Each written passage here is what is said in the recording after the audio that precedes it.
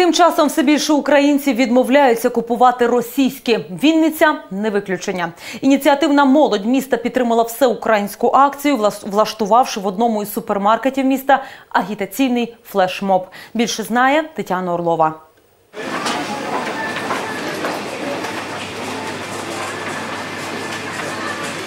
Пересічні вінничани долучаються до бойкоту російської продукції. Чимало городян віддають перевагу нашому українському.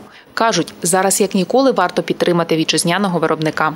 Якимось чином від кожного громадянина потрібно, щоб залежало своє відношення і своє ставлення до е, Криму. Так як вони поводяться з нами, то ми в свою чергу повинні також відноситися до Російської Федерації. Я на принцип іду.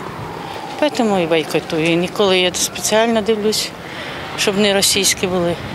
Мені і українські подобаються. Каждый может сделать что-то свое, в частности, не покупать эти товары э, российского, производитель- российских производителей. Відмову від російського підтверджують вітчизняні підприємці, які реалізовують продукції північно-східної сусідки. Кажуть, те, що Made in Russia з кожним днем користується все меншим попитом. Тому самі бізнесмени змінюють свій асортимент на користь українських товарів. Приїжджають до нас, привозять цукерки з Росії.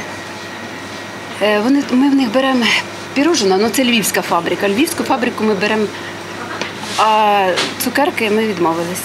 Керуючись цією громадянською позицією, е, вже самі підприємці, е, ті, які займаються роздрібною торгівлею, відмовляються від е, отримання товарів з метою подальшої його реалізації.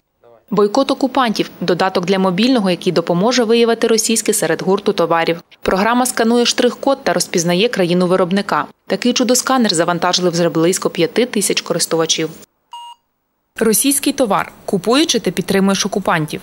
Всеукраїнська громадянська кампанія бойкоту російських товарів розпочалась ще у серпні минулого року. Її причиною стала блокада української продукції з боку Російської Федерації. Кримська криза по-новому активізувала українську акцію. Тетяна Орлова, Олександр Малий, телеканал Віта.